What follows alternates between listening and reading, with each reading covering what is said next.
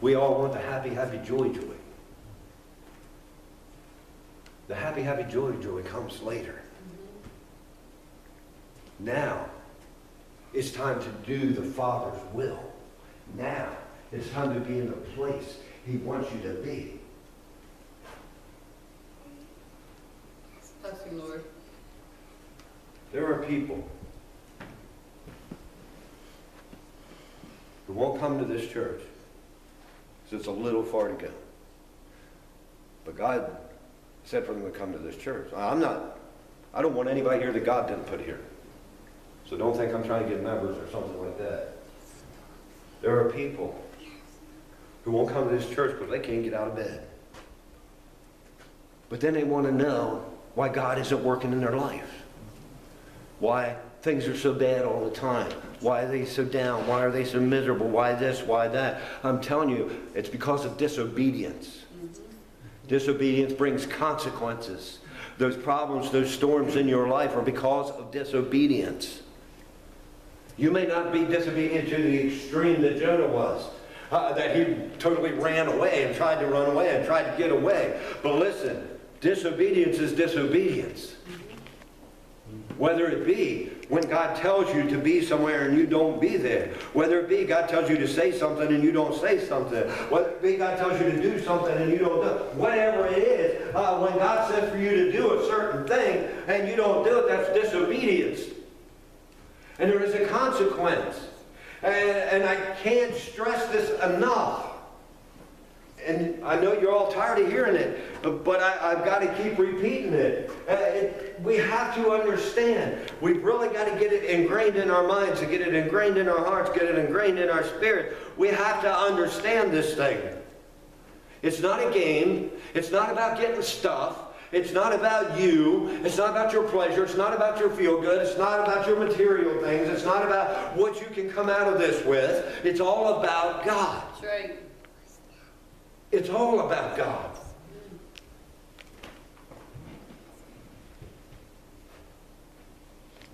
And until a lot of us understand that, we're going to be like Jonah. We're going to be down in the dumps. We're going to be up here. We're going to be down in the dumps. We're going to be up here. We're going to be down in the dumps. We're going to be up here. We're going to have storm after storm after storm after storm. Worries and trials and troubles. Well, if I do this thing that you're saying, will everything go away? Nope. You still have tribulations.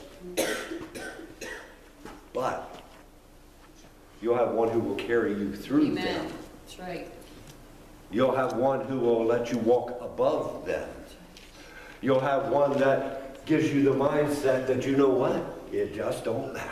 That's right. Because I got Jesus. Amen. And yes, you can really live like that. Mm-hmm. You can. Been there, done that.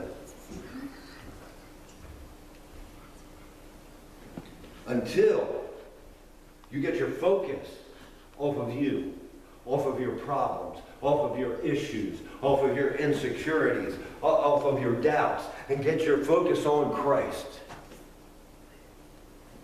You're never going to be in that place. You're never going to be in that place until you can do that. Listen, Jonah, and again, I want to stress this Jonah was still a man of God.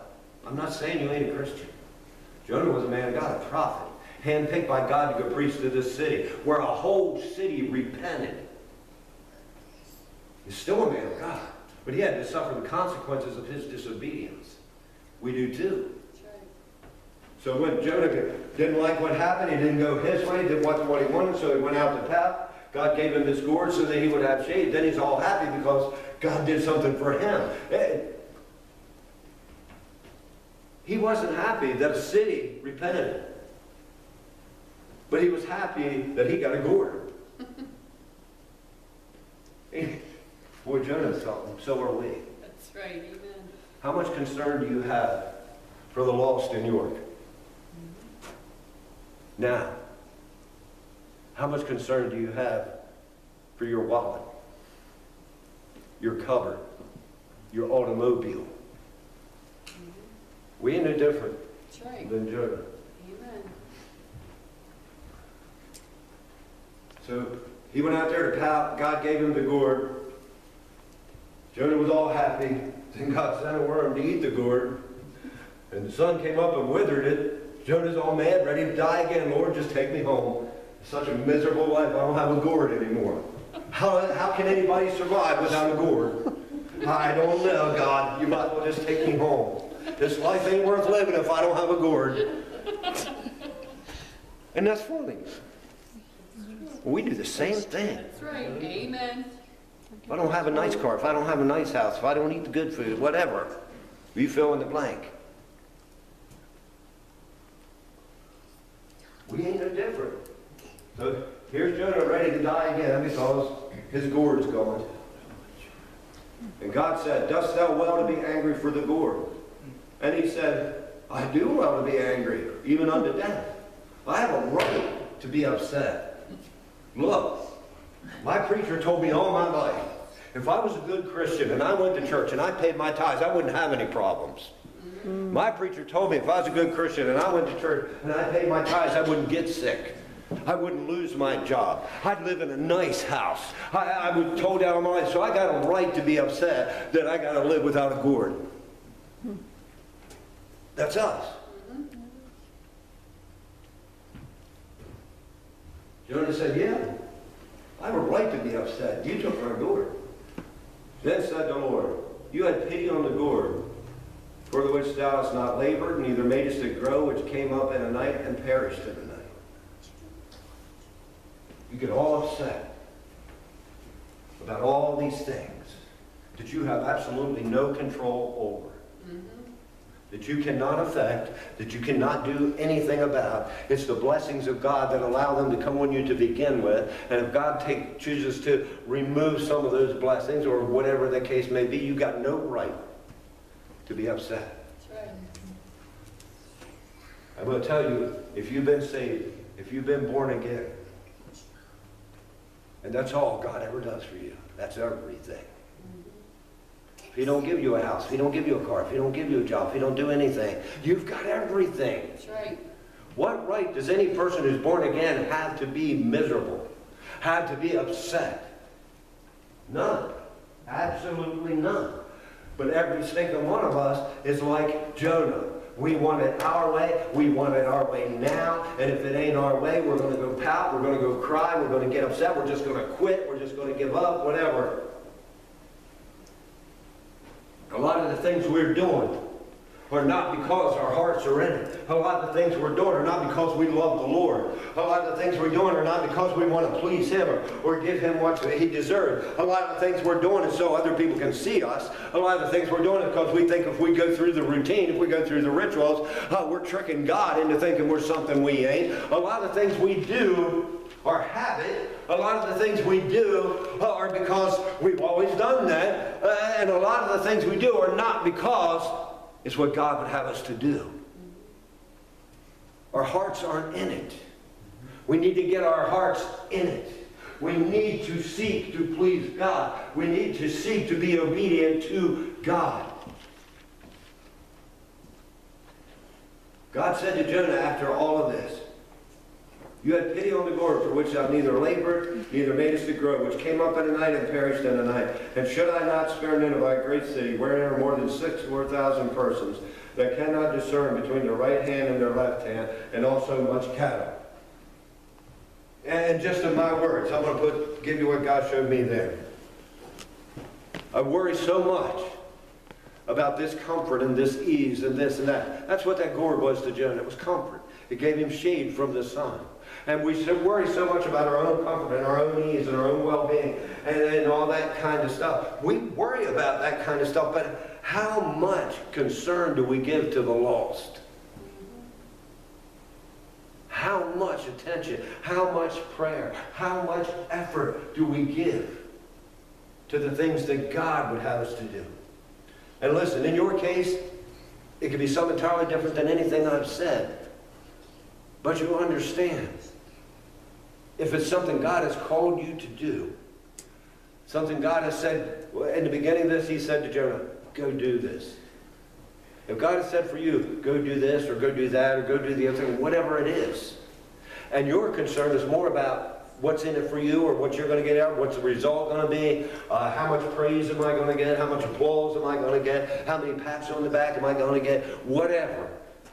Am I going to get the result I want? And if it ain't the way I want, then I'm going to be upset and I'm just going to quit and, and all this stuff. If we're going to be like that, then we may end up suffering the same thing that Jonah suffered. Even after he did what God wanted him to do, he was miserable. That man was miserable. Really read that. He could not get happy. He could not be happy. He had a brief moment. In all of that, the whole book of Jonah, he had about this much happy time. And that probably wasn't real happiness. Think about these things. If your Christian life is a whole lot more of, well, I might as well just quit, I might as well just die, I might as well just go, nothing works out, nothing's good. If it's more of that than it is of joy, then something's wrong. That's right. Mm-hmm. And I'm going to tell you what God has put on my heart is wrong is disobedience. It's disobedience. Because when we are obedient to God, we're happy. It is a joy to serve God when you really serve God from your heart. It is a joy. There's nothing that can make you happier than serving God and seeing God work and seeing God move if you're sold out to God, right. if you're committed to God. And I'm going to wrap this up, but I'm going to tell you.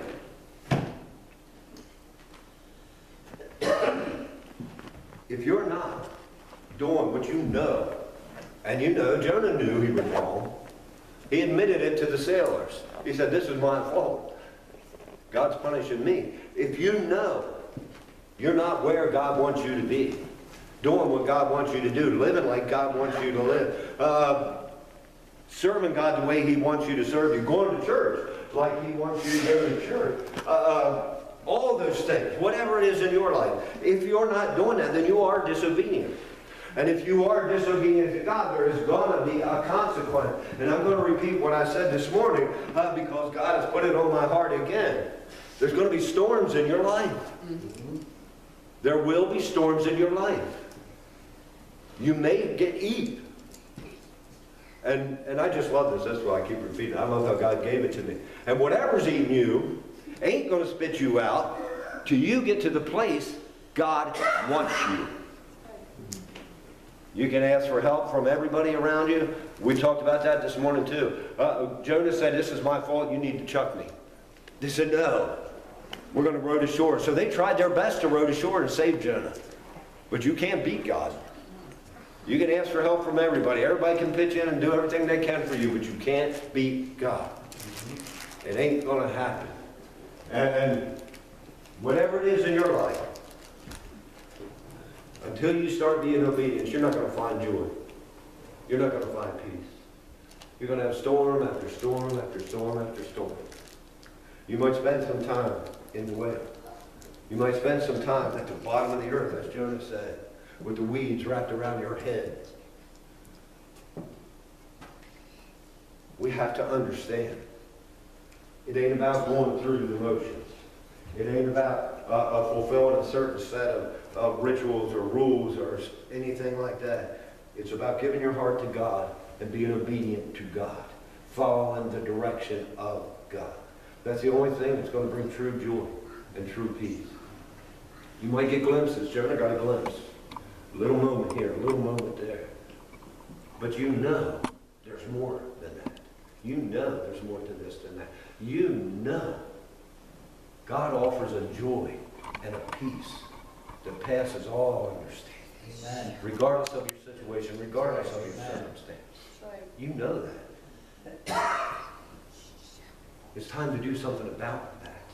It's time to just give up and be what God wants you to be and do what God wants you to do, go where God wants you to go, act how God wants you to act, speak how God wants you to speak.